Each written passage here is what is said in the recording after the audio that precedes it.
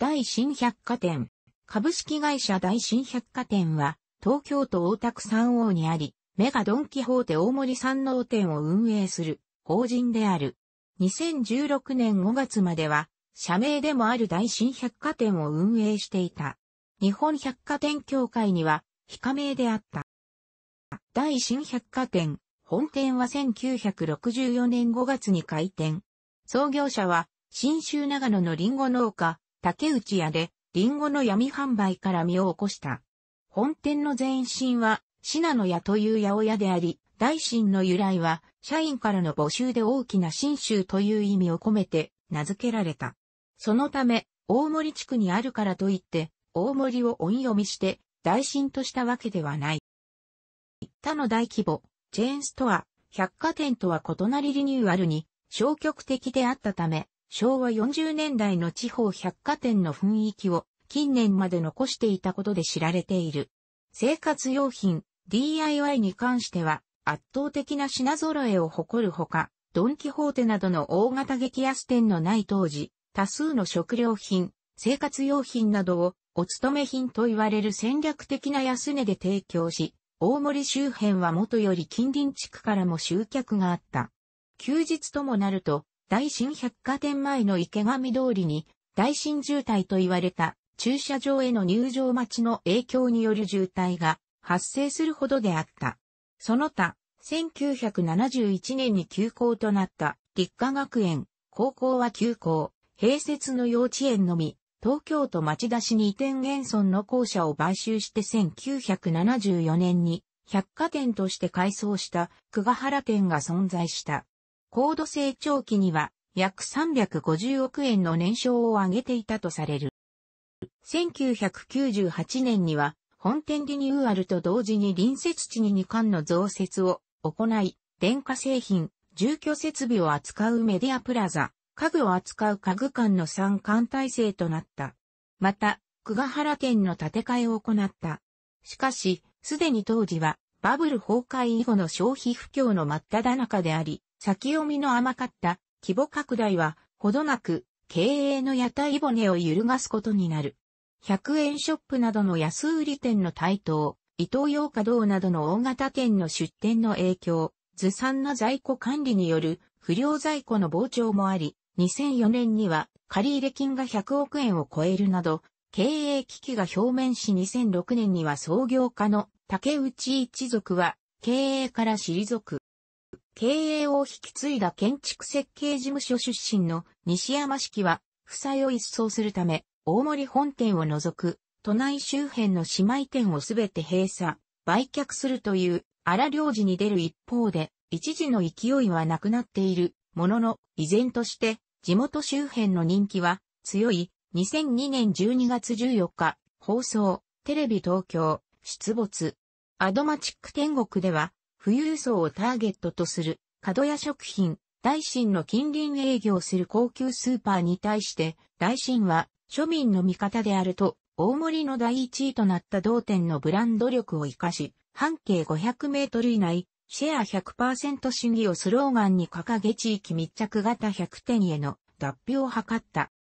本店のリストラは2004年9月から家電を本店に再度移した上でメディアプラザを家具館、家具館をブック館に再編したのを皮切りに、姉妹店の久ヶ原店を2005年12月に閉店。レストランの廃止、2006年3月には、ブック館を廃止して、本店5階に移動しに館体制とし、空きとなったブック館は、外部テナントを導入し1000円均一ショップ1000金ワールドとした。2007年2月には、旧メディアプラザである、家具館が閉店、最後に残った旧ブック館の千金ワールドも2008年5月25日に閉店し、残ったのは本店のみとなるなど迷走を余儀なくされる。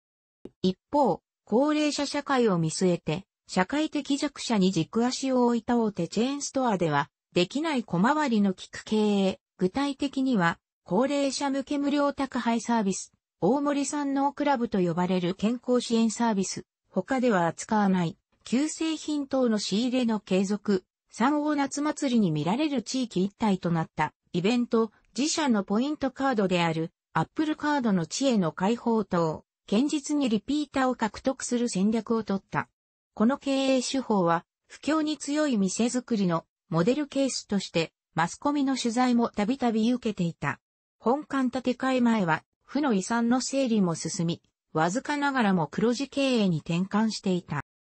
当時のキャッチフレーズは、住んでよかった街づくり。ロゴマークは、久ヶ原店閉店前の方位地震を模したものから、末期に創業時のリンゴとかけたアップルと大震の D を模したものに変わっている。老朽化が進行し耐震性確保も問題視されていたことから、2010年2月から駐車場の敷地部分を有効活用する形で北半分を建て替え、2011年2月にプレオープン後、南半分を建て替えて2012年8月にグランドオープンした。従来、建物の他に駐車場、駐輪場などがあるが、低層利用を余儀なくされ、所有地の大きい割には土地の有効利用がされていなかったが、これらの土地も含め建物を拡大することにより、旧店舗では1から5階のフロア構成であったものが、1から3階に収容することが可能になり、回遊性が高まった。4階、屋上には駐車場を設ける他にも、多目的集会室、託児所、屋上庭園等小回りの菊設を設けて、他の大規模、チェーンストアに対抗することとした。建て替えの時期に規模縮小を余儀なくされたが、その際近隣に相次いで開店したスーパー、大関、マイバスケット等に押される形で2012年1月期には売上高が51億円と大幅に減少した。2012年に新館がグランドオープンし、売上減少には一定の歯止めがかかったものの、社会的弱者に優しい店舗作り品揃えを加速させたことで、むしろ半径500メートル以内、シェア100%主義というスローガンとの乖離が生じて、若年層の客離れを招く結果となり大幅な回復には至らず、新建屋の建築費用や金利負担などがそのままのしかかる形で2万161月期には8000万円の赤字を計上するなど、慢性的な赤字体質からの脱却は困難な情勢となっていた。このため社長の西山式は2014年に経営権をドン、キホーテグループ系列の投資ファンド日本、アセットマーケティングに売却。新経営陣は営業時間を他のドンキホーテ店舗と同一にするなど徐々、店舗運営ノウハウをドン、キホーテのものに移行した上で、2016年にはドンキホーテホールディングスが大新百貨店の経営権を直接獲得。5月8日には大新百貨店の屋号としての営業を終了、閉店した。2016年6月30日、メガドンキホーテ大森山王店としてオープン。店舗の運営主体は、引き続き株式会社大新百貨店が担う。オープン前日の29日には、報道向けの内覧会が開催された。公式ホームページは、メガドンキホーテ大森山王店としてリニューアルされたが、メガドンキホーテのロゴと大新百貨店の語が併記されている。2017年6月には5階へ保育園を開設。全フロアが自社運営ではなく各階にテナントが入店している。大新百貨店時代から店舗で買い物をした商品を宅配する無料宅配サービスは業態変更の後も続けられている。ドンキホーテグループのサービスブランドマジカプレミアムの第2弾として、最短58分以内の配達サービスとして、マジカプレミアムナウを2017年2月22日より、大森山王店からサービス開始。専用サイトから注文を受けた商品を宅配。店舗から半径約 3km 以内を最短58分以内としている。大新百貨店時代から継続されているサービス。業態変更により一時休止していたが、2016年7月11日に再開された。リニューアル後も昭和の雰囲気を残す質素、レトロな作りは維持された。旧館は晩年昭和館と称され、2011年2月まで営業されていたが、営業終了後ほどなく、東日本大震災が起こり、昭和館は館内が被災した。